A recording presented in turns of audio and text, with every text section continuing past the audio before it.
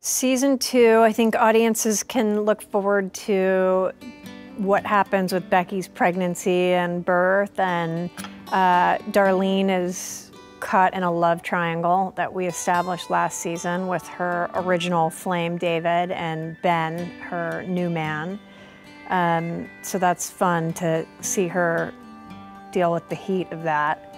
Um, Harris starts to get into some trouble. I mean, starts to. Harris is always in trouble, but that escalates.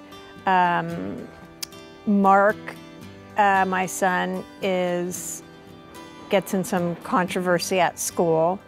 So Darlene has to deal with that and going to the school. And um, Dan, we see him furthering his journey, starting a friendship with Katey Sagal, her character and seeing where that goes, where they land. The topics, we, we don't ever try to do things just because they're a hot button issue or we don't try to have a political stance on anything. It's more we talk about what would be facing this family organically. So because they're a middle class family and they're struggling to make ends meet, they're naturally dealing with things like health care or paying bills or um, Becky's, the, the father of her baby was deported and that's sort of organically uh, something that's affecting them. I'm super thrilled to be here because I admire them all so much. I'm a bit of a fangirl, actually.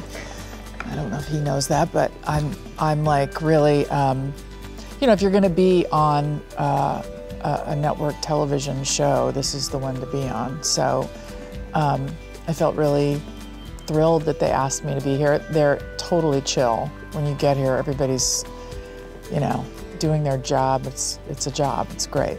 And so, um, yeah, I feel really welcomed. They've been very nice. Nobody's yelled at me yet. It's good. We're lucky to have her. In the first season, she, she sees Dan. She kind of like hits on him immediately, which I think was, well, sort of, in a casual way. But she also understands right away that, you know, he's going through a lot. So, but it, it's, it's implied that she's always carried a torch for him. And so, you know, time's a waste, and so she kind of goes for it. And then, so we come back this season, and now she's the manager of Casita Bonita. And it's sort of implied that in the interim they've they haven't been really hanging out, but they've seen each other in the in the bar. This season, Harris is a bit of a rebel.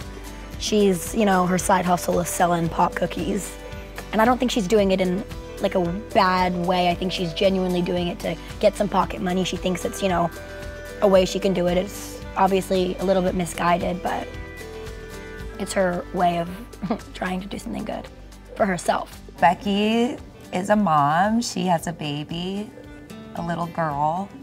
Um, so that's exciting for everyone, and she needs a lot of help. So she's she's taking it where she can get it. Yeah. And uh, Darlene is in a love triangle. And then the rest of the family, I think, is as always trying to kind of figure out the way to. Uh, support each other without trying to mess up each other's lives too much, much like a real family. And uh, everybody kind of has a interesting dynamic that's kind of growing and changing as the kids are growing and changing. It keeps touching on big issues, you know, let alone to parenting, but um, your sobriety that uh, Becky deals with in this uh, season and um, immigration that you're also dealing with, and aging, and uh, finances, and geez, what else? I mean, it's we, kind of everything. I yeah. mean, we, we nothing is off limits. I think that's the real beauty of this show, and always has been. Is I think that's what resonates with the audience because you're dealing with every possible dynamic, every element of a family comes into play, and then we find a way to add humor to that and kind of disarm yeah, the, the pain of it. The writers do an excellent job of that. I, am I'm, I'm, I'm amazed at that, given some of the